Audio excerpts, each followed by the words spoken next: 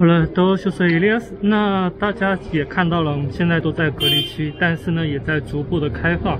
今天我正好来了这个巴勒莫这个地方，带大家看一下这个阿根廷的经典美食——这个球梨棒，再加上他们的一些独特的设计之后，然后会有一些什么样的改变？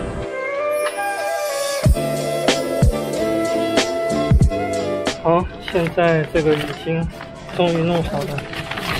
价格有一点贵，这这个要三百块钱，我给你们看看这值不值啊？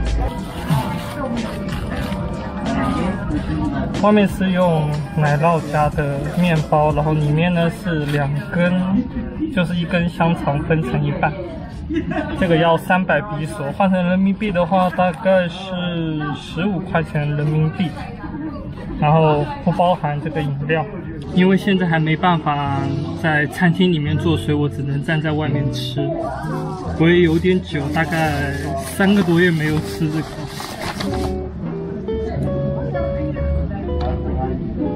嗯，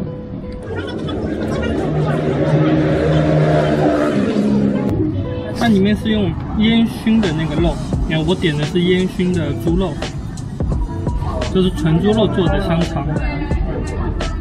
那这边叫做秋梨棒，里面叫做秋梨，外面的面包叫做棒，所以合起来就叫做秋梨棒。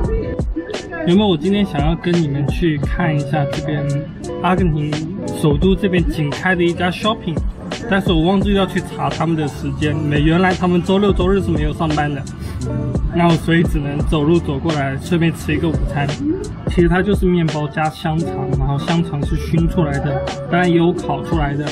里面还加了一点蔬菜，还有一点这个炸的那个土豆条，但是整个感觉就让你觉得一口咬下去非常的爽，而且非常的多汁。点甜点，那我身后的这家可能是整个首都最好吃的醋罗店。那醋罗是什么呢？它是源自西班牙的一种小甜品。那是非常甜，像是有有人说那个是叫做西班牙油条。那我现在给你们看一下为什么我称呼它为可能全首都最好吃的兔肉。我还点了额外一杯咖啡，因为我知道这个是非常甜的。